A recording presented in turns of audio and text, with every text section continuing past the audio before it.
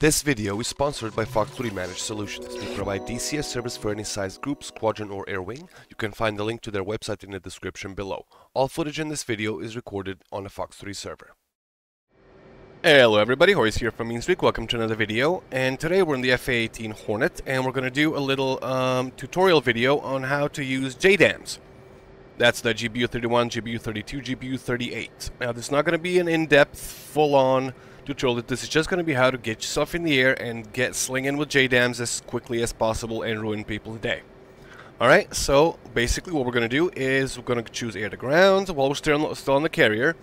And we're carrying two GBU-31s, so two 2,000 pound JDAMs.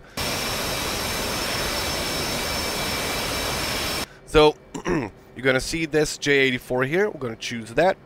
There we go. That's ready. Also, you might want to turn on your uh, T-pod and let that thing warm up. And let's see. We'll see when that's ready. Now, we're going to set up our JDAMs. So, you see here timing, 9 minutes 46. That's how long it's going to take for them to align. So we're going to go mode and we're going to choose TOO, so target of opportunity. So you can use your um, targeting pod to identify targets. So you're going to go eFuse. And if you want to do um, delay to shoot, to, you know, kill something that's underground, that's where you go. It's, if it's on the surface, you go instant. That's good, that's good, that's good. And now you go to JDAM display. And you see that it's quanti quantity, only we're only going to release one. We're going to do quantity two. Alright. Now you see that uh, you have station 2 and station 8 here. That's the two stations that we have our JDAMs on. That's 2 and that's 8. So we're gonna, if you want to do just one at a time, you click 1. You're gonna do both. You click both. It says quantity 2. We're gonna release both at the same time once we get to the target. Alright, so now we're gonna let that warm up.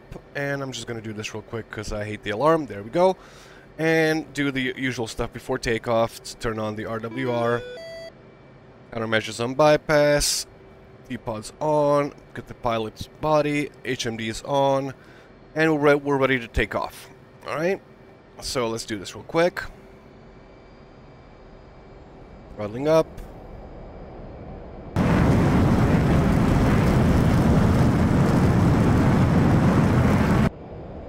And let's salute.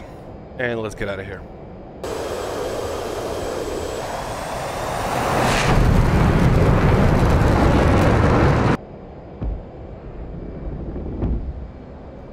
Alright, gear in, flaps in, and we're gonna have to go a little bit that direction, because that's where our target is. Now, we are gonna choose HSI, we're gonna have to choose the waypoint it's at. Waypoint Go. Waypoint 2 is our target. Go. T-pod's warmed up. And we're just gonna get on course, get up to altitude, 30,000 feet. That's where we're gonna throw them from. Now we're pretty close. We can already see the target, 37 miles. So let's do this, this, and that. And we'll be able to see pretty soon what's going on. Once we get up to altitude.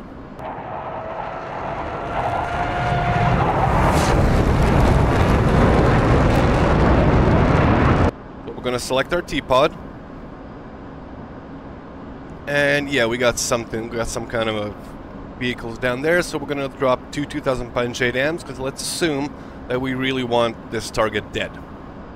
Right. So now, after you've taken off, you're going to have to go in the Hornet, you're going to have to go choose air to ground again, and choose that again, okay? Now, it's not saying that it's ready. JDAMs are crossed out because the uh, master arm is off. And there's also, where you see this uh, 2.06 timer, that's how long it's going to take for us to get in range to, you know, release the JDAMs. Alright, so let's get up to altitude.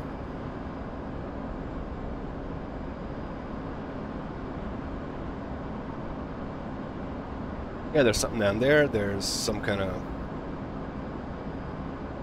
Some kind of vehicles, some infantry if I'm not mistaken. But we'll wait until we get up to altitude and then we can see what's going on. Alright, we're at 30,000 feet. I've activated the autopilot so that we, you know, have a little bit of easier time handling the weapons so we, we don't have to, you know, worry about flying the plane as well. Alright, what do we got here? We have, looks like, a helicopter, some vehicles, and um, some infantry. Okay, so with JDAMs, since they are GPS guided weapons, if you're shooting a tank, for instance, if you want to release on, on a tank, you don't aim for the tank or for the vehicle, you aim for the ground below the vehicle because that's what the JDAM is gonna lock onto. Here we go, we are says in zone, master arm on, says ready, and released.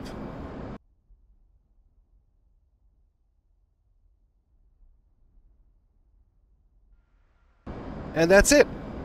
That's it, you're done. You've released the bombs, you've, you know, just following a T-pod, and now we're just gonna wait for these people down here to have a bad day. Easy as that. It's a very simple weapon to use. And you can sling that from quite a lot long range away. I'm going to reduce speed a little bit. And just wait for it to hit. Yeah, it looks like two guys having a meeting next to a helicopter with some guys, you know, protecting them, some vehicles parked. Now, there's two 2,000 pound JDAMs heading for them, so they're about to have a very bad day.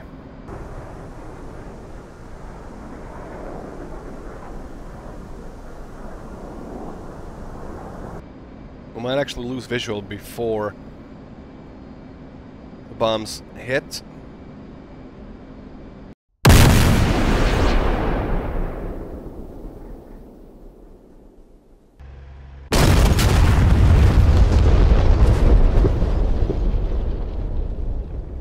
There we go. That's a hit right there. That was... Oof. That was nasty. Let's see what's left down there. Vehicles are destroyed. Helicopters destroyed. Lots of dead people. That's it, folks. That's all we got. Targets are dead. JDAMs are stupidly easy to use. Just when you set them up properly. And that's it. Hope you all enjoyed this. Hope you found it uh, informative and helpful. If you have, make sure you like, share, and subscribe. And see you all in a future video. Have a great day, everybody. Peace.